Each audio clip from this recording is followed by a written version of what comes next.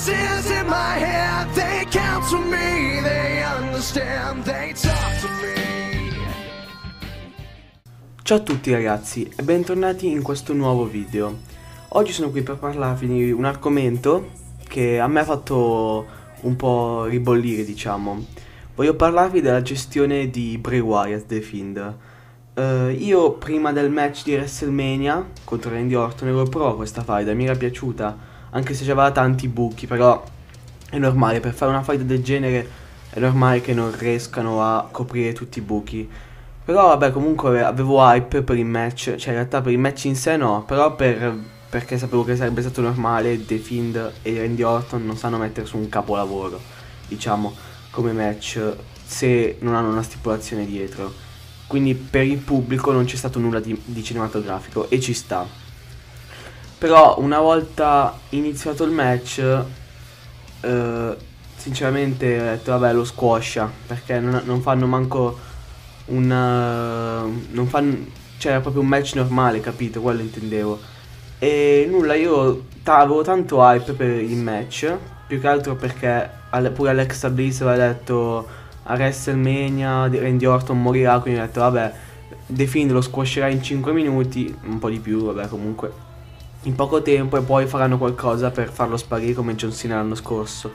E invece, una volta iniziato il match, a parte che non capisco perché The Fiend abbia combattuto con il suo vestito normale non bruciato. E già quello mi ha fatto un po' girare. E seconda cosa, la maschera è cambiata. Vabbè, perché quello lì non è che mi cambiava molto. E una volta iniziato il match, nulla, The Fiend domina, poi Randy Orton fa qualche DT, il match mm, penso che stava per finire, esiste Abigail, invece no, compare Alex Bliss con tutto il sangue nero, si può chiamare così, dalla, che gli esce dalla testa, tutte queste cose qua. Archeio, The Fiend si distrae, Archeio e vince Randy Orton.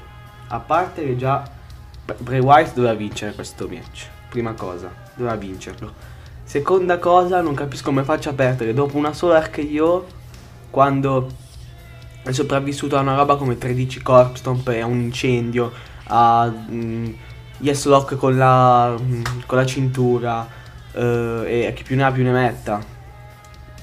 È sopravvissuto a un incendio pure contro Randy Orton, infatti è rinato, quindi vabbè, non capisco.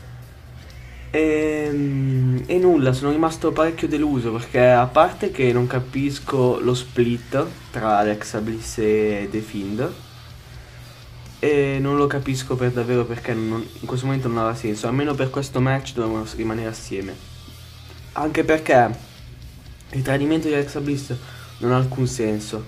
Vabbè, io ho detto, vabbè, questo non lo accetto, ma comunque vediamo cosa faranno a Roma. Ci daranno una spiegazione, daranno una spiegazione a tutto questo. Arriva Raw post WrestleMania, a parte che è stato Raw post WrestleMania peggiore di sempre. Io mi sono rotto le palle di vedere Raw veramente. Io non guardo più Raw ragazzi, guardo tanto SmackDown. E adesso molto probabilmente dato che non guardo Raw inizio a guardare NXT perché non riuscivo a guardare tutti e tre gli show per questioni di tempo. E ora che non guarderò Raw molto probabilmente inizio a guardare NXT perché Raw veramente mi ha rotto le palle. Allora, lo show titolato mandano ancora Drew McIntyre contro Bobby Lashley. E non dico che è una scelta sbagliata, ci sta che deve avere una rivincita. Ma doveva finire che perdere ancora me lo distrugge ancora di più. Che poi non ha fatto una brutta figura WrestleMania Drew, anzi tutt'altro. Però magari avrei mandato qualcun altro, magari Braun Strowman.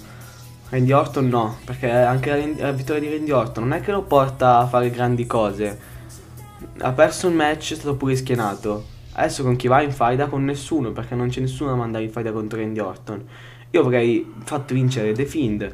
Randy Orton scompariva per un po', facevano quella roba che scompariva come John Cena, poi tornava e si ingaggiava una nuova faida. Come ha fatto i J Styles l'anno scorso alla fine, che è tornato per il Gauntlet match a Money in the Bank. Ma la vittoria di Randy Orton non lo porta da nessuna parte secondo me. Poi magari, poi magari sbaglio e adesso andrà per qualche fight ancora più importante, ma la vedo dura sinceramente. Mentre a Raw abbiamo avuto Alexa Playground e Alexa Bliss in, pra in pratica in breve, non ha detto proprio queste parole ma in breve, ci ha spiegato che ha tradito Bray Wyatt perché non ha più bisogno di lui. E non ha senso, vi spiego anche il perché. Se non hai più bisogno di lui, perché l'hai fatto tornare a Fastlane? Spero che te lo spiegheranno perché Io ho già un'idea, magari ce l'avrei, però secondo me è comunque molto forzata la faccenda. Spiegherà che l'ha fatto tornare a, a Fasten perché aveva bisogno dei suoi poteri per uh, dopo diventare più potente. Perché alla fine Alexa Bliss ha detto questo, è diventata più potente, perciò ha tradito The Fiend.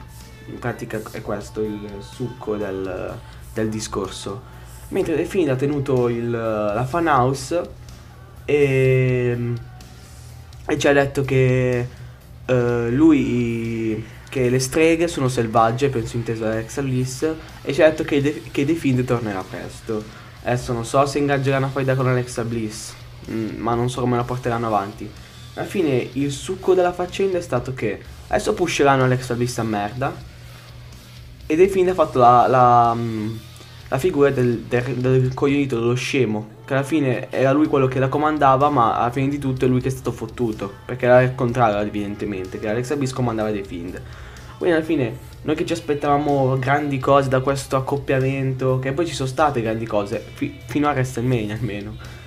Ci aspettavamo grandi cose, tutto, alla fine siamo rimasti delusi perché alla fine alla fine questo metterli insieme era per pushare Alex Abyss, non The Fiend. Secondo me è sbagliato, devi pushare tutte e due perché hanno fatto un, un lavoro fantastico tutte e due assieme e dovevi pusharli assieme.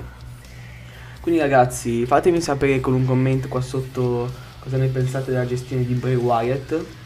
E nulla, noi ci vediamo a un prossimo video. Ciao a tutti!